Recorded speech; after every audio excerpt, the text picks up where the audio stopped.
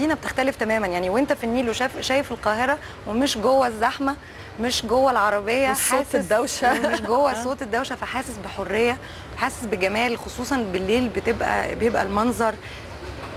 يعني أنا شايفة إنه من أحلى المناظر مناظر يعني أحلى المدن في العالم بالليل هي القاهرة لما بتبقى شايفها من النيل كمان. أو لما بتبقى شايف النيل من القاهرة برضو منظر جميل. أنا النيل بحبه في أسوان جدا. فلما بيوحشني النيل بروح أسوان.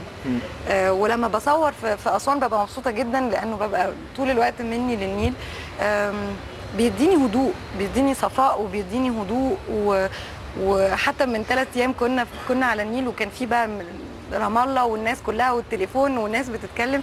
قفلت التليفون وقعدت بص على النيل طلعت حد تاني. حتى أول ما طلعنا على الداك تاني قلت لهم خلاص رجعنا للواقع. يعني النيل بيسحبني من الواقع كده.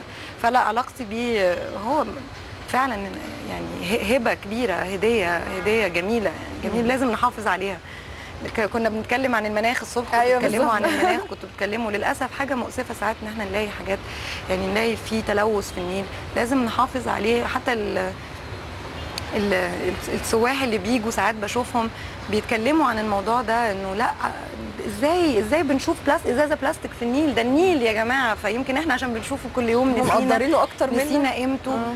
ف... فلازم نقدره طبعا لازم نقدره ون- ونخليه صافي لأنه هو فعلا رمز الصفاء كنت هقول لك إن في الأقصر وأسوان هو لون تاني تماما غير اللي هنا انت. بتبصي. وتقولي هو ده النيل تبعنا تماماً.